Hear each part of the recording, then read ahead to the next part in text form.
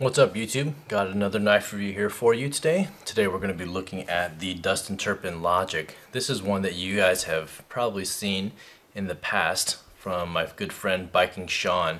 Um, Sean, uh, we traded this knife a while back and uh, had a chance to get a Turpin and I couldn't pass up, pass it up. So um, some of you guys maybe on Instagram or have seen uh, Dustin's latest work, the Strife, as well as the Insight. You know, the Logic is a discontinued knife, I believe, in his models. Um, but hopefully it'd be one that he brings back because this is an awesome, awesome knife. Uh, this one is featuring either N690 blade steel or CPM 154.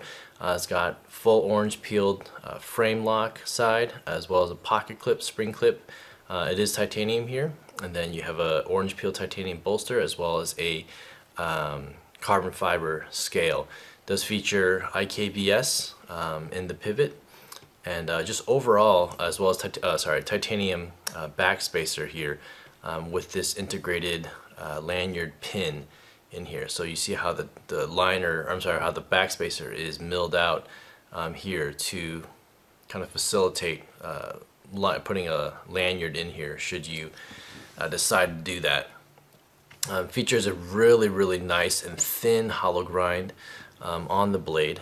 Um, and so, and then overall construction, um, you just see how the screw, so there is a screw that's hidden from the scale here that will um, come out here. So this is really the only hardware that shows um, that is putting this uh, knife together outside of the pivot here as well.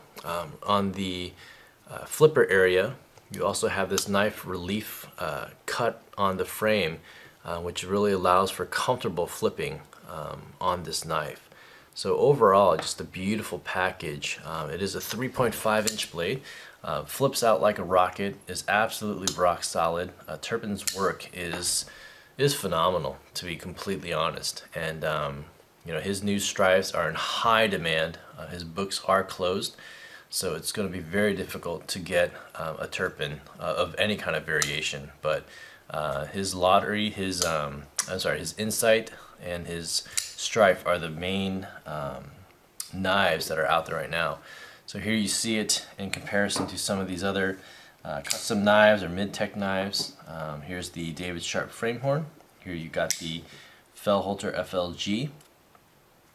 I should flip this on its presentation side so you can see. Uh, here you have it against the Sebenza 21. And then finally against the Shirogorov Mod 95 with T-pattern. So just an absolute um, gorgeous knife. All these knives are gorgeous, but um, Turpin's work, to be honest, is is really it's really impressive. I mean, all of their work all these custom makers are, are really good. Um, but this Turpin Logic, um, you know, fit and finish and everything on here is um, it's quality. So anyway, this is a short video. I really, I just wanted to get it done, get it out. Um, because I have actually sold this Turpin. Um, it's going to be shipped off to Australia. Um, probably by the time I upload this video, it's been long gone. Um, but I wanted to have this out there. Um, but overall, you know, if you do get a chance to get a Turpin uh, in whatever variation, pull the trigger because this is an absolutely amazing knife. Ergonomics on this knife, jimping on this knife, everything is perfect. Um, and I kind of regret, I kind of regret selling it, but you know, it had to be done. So anyway, um, that's pretty much it. You know, I'm going to be doing a lot of just shorter videos, give you guys a little um, look at these knives. You know, it really is not too much of a point to talk too much about these knives. So anyway, there you have it, the Turpin Logic um, by Dustin Turpin. Uh, let me know what you guys think in the comments down below. You guys take care, and I'll see you on the next vid. Bye.